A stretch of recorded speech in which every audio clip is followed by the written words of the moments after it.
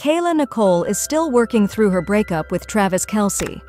Over a year after the Kansas City Chiefs player and Taylor Swift brought their romance into the public eye, the model shared how she is still reeling from her and Travis's 2022 breakup.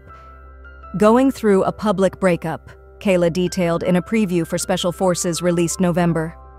27, as tears streamed down her face, it's been overwhelming. Later, a fellow contestant, Alana Blanchard, asks her who her ex is, and Kayla whispers, Travis Kelce.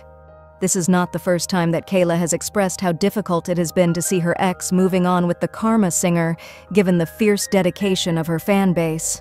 I would be lying if I said that that level of hate and just online chaos doesn't impact me, Kayla admitted on an October episode of the Unapologetically Angel podcast.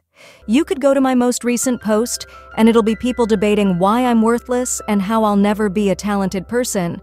But despite feeling overwhelmed by the hateful comments at times, Kayla understands that the online criticism has nothing to do with her as a person. I think there's something about that level of fame that attracts crazy people, Kayla posited of her ex's sharp rise to stardom. And it's unfortunate because I've never done anything to warrant that kind of backlash.